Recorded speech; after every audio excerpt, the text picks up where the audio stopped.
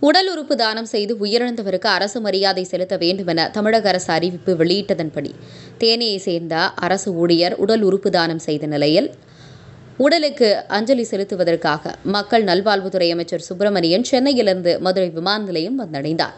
பின்னர் செய்தியாளர்களை சந்தித்த அவர் இனிமேல் உடல் உறுப்பு குடை கொடுப்பவர்களுக்கு அரசு சார்பாக மரியாதை செலுத்தப்படும் என அறிவிக்கப்பட்டது.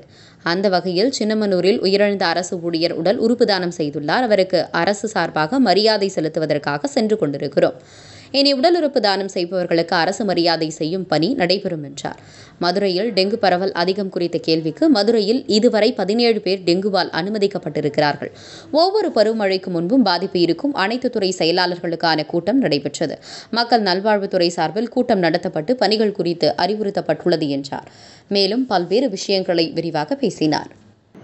தமிழ்நாட்டின் எல்லா இடங்களிலும் ஆயிரம் இடங்களில் கடந்த ஆண்டும் கூட இதேபோல் மருத்துவ முகாம்கள் நடத்தப்பட்டு இந்த காய்ச்சல் கட்டுக்குள் கொண்டு வரப்பட்டது. அதே அதேபோல் இந்த வருகிற ஒன்றாம் தேதியும் ஆயிரம் இடங்களில் மருத்துவ முகாம்கள் நடத்தப்படவிருக்கிறது.